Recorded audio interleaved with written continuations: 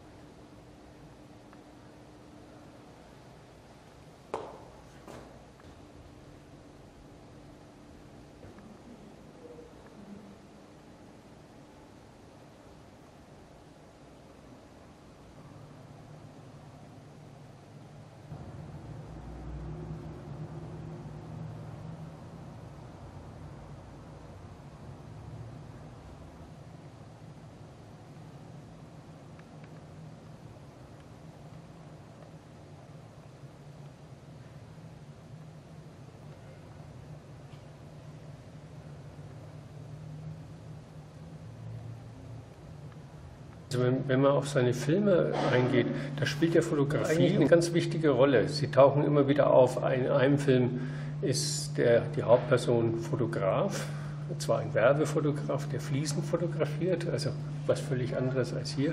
Und in anderen Filmen gibt es immer wieder Situationen, wo die, der Hauptprotagonist, oft auch von ihm selber gespielt, äh, an eine Wand geht, wo Fotografien hängen, Fotos abnimmt, Fotos anschaut, äh, besonders betrachtet.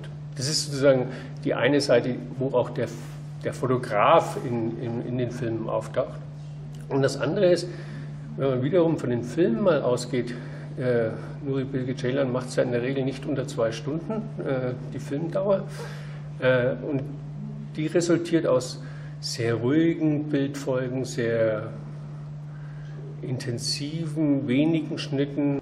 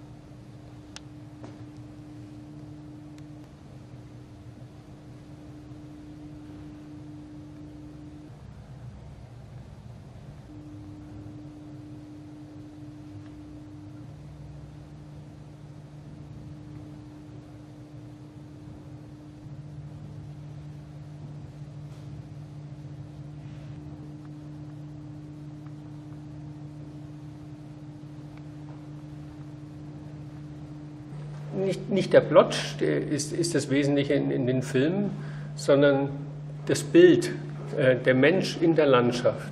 Und ähnlich ist es bei, bei seinen, seinen Fotografien, seinen fotografischen Arbeiten. Sie sind ja alle im überdimensionierten Cinemascope-Format aufgenommen worden, im Panorama-Format. Und er benutzt dieses Format, wie ich finde, einzigartig.